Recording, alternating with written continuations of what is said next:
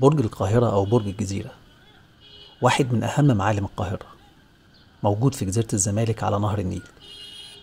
اتبنى ما بين سنة 1956 وسنة 1961 مبني من الخرسانة المسلحة وعلى قاعدة من أحجار الجرانيت الأسواني.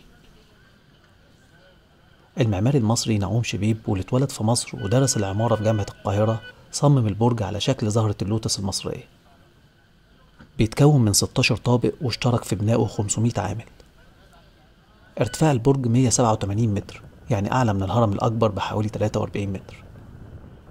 وده اللي بيخلينا نشوف من الدور 16 من على سطح البرج منظر رائع للقاهرة الكبرى وأهم معالمها زي نهر النيل وأهرامات الجيزة وقلعة صلاح الدين وجامع الأزهر ومبنى الإذاعة والتلفزيون ودار الأوبرا المصرية.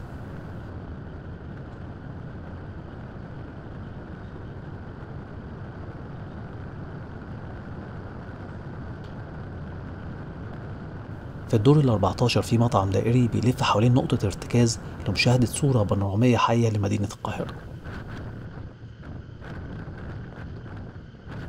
وفترة الستينات اتجاوز البرج من إنه يكون مجرد معلم سياحي بارز لإنه يكون كمان مركز رئيسي لبث الإذاعات السرية والعلنية اللي انطلقت من القاهرة عشان تغطي قارة أفريقيا وآسيا لدعم حركات التحرير الوطني.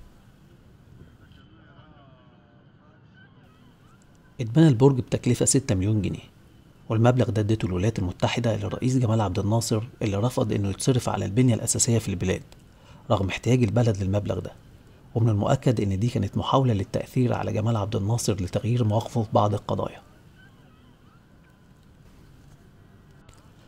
عبد الناصر أراد إنه يبني معلم يظل على مر العصور رمز للكرامة المصرية.